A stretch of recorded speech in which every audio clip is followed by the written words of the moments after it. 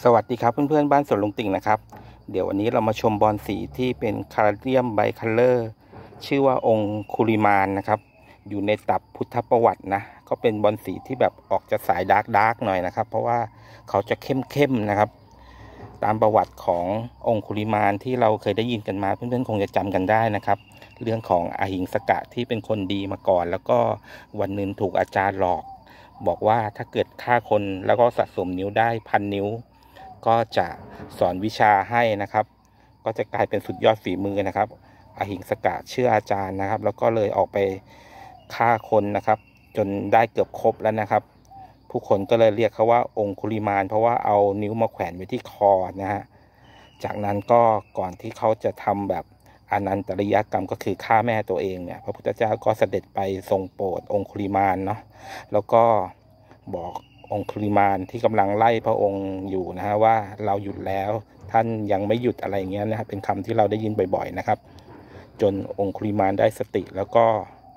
ก้มลงกราบพระพุทธเจ้าแล้วก็นะได้ดวงตาเห็นธรรมนะครับ เนี่ยก็เป็นบอลสีที่ถูกเอาชื่อขององคุลิมานมาตั้งนะครับ เพราะว่าเขาจะมีความแบบเข้มๆนะครับ ตัวก้านเขาก็จะเป็นแบบสีเข้มจัดๆอย่างเงี้ยนะครับ ใบก็จะเป็นแบบแดงๆแบบเข้มแบบเหมือนเลือดเลือดอะไรอย่างเงี้ยนะฮะเนี่ยนะครับต้นนี้ยุบตัวไปนานมากนะครับ จนมาวันเนี้ย เดือนนี้นะครับเขา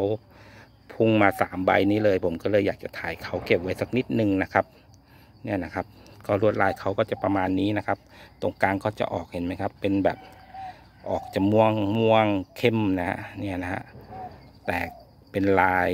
ประมาณนี้นะครับ ใบก็ไม่ใหญ่นะครับ ประมาณเทียบกับฝ่ามือเห็นไหมครับ เนี่ยนะครับ ส่วนใบนี้ก็ยิ่งจะเข้มไปใหญ่เลยเห็นไหมฮะเรียกว่าเป็นบอลสายดาร์กเลยก็ว่าได้นะครับ เนี่ยนะมีความสวยเป็นเอกลักษณ์อีกชนิดหนึ่งเลยนะครับ หายไปนานมากนะ อยู่ๆวันนี้ก็งอกกลับมาใหม่นะครับ บอลสีบางทีเราอย่าเพิ่งทิ้งนะครับ กระถางเก่านะ วางวางไว้ก่อนนะครับ เพราะเราจำไม่ได้นะว่า ในหัวที่อยู่ในกระถางเนี่ยเป็นบอลอะไรนะครับ เดี๋ยววันหนึ่งเขาโตกลับมานะครับ เราก็จะเห็นเขากลับมางดงามได้เหมือนเดิมนะครับ เหมือนกับต้นองคุลิมานต้นนี้นะครับเนี่ยนะครับ ใบเขาจะเขียวแล้วก็มีด้านในเป็นเส้นแบบนี้นะครับ การสีดำออกแบบเข้มจนจะดำนะครับ นี่นะท้องใบก็ประมาณนี้นะครับเพื่อนนี่นะครับ ลองหามาปลูกดูนะครับ ก็สวยงามนะครับ เป็นบอนสายดาร์กแล้วก็ชื่อก็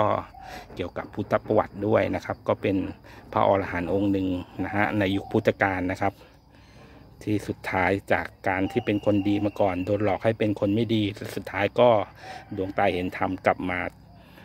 เข้าสู่นิพพานได้นะครับเนี่ยนะครับคนเราก็แก้ไขได้ตลอดนะครับ ไม่มีวันสายนะครับ จนกว่าจะตายนะครับ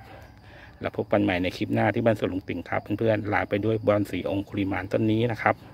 ขอบคุณที่ติดตามนะครับ สวัสดีครับ